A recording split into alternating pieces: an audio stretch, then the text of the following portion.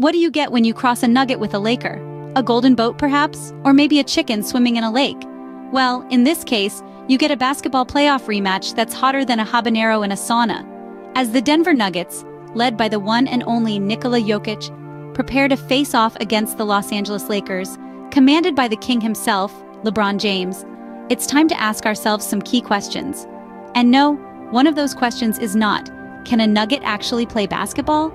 Despite the Nuggets' recent dominance over the Lakers, the current Lakers team is as strong as a cup of coffee that's been brewing for three days straight. It's like they've been pumping iron while the Nuggets have been, well, mining for gold. Key factors in this series include the performance of Jokic and Murray, LeBron James and Anthony Davis, bench players replacing departed contributors, and the support from secondary starters. It's like a high-stakes game of chess, with every move potentially leading to a checkmate or a painful loss. But let's not forget the wild card in this equation, the betting odds.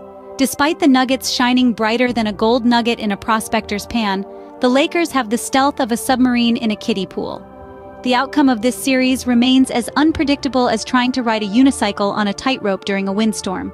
In the end, both teams need to excel in these areas to secure victory in the playoffs. It's like asking a chicken and a duck to a swimming race. They both can swim, but who will paddle faster?